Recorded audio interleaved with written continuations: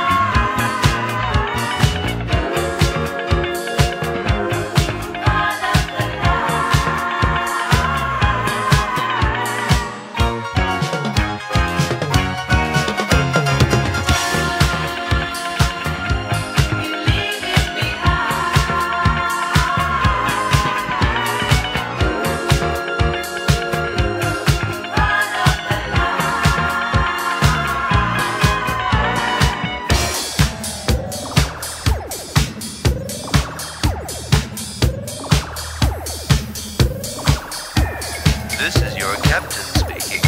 We are now moving back into the 20th century at approximately minus two years per minute. Please keep your seatbelts fastened as we will shortly be experiencing some time turbulence.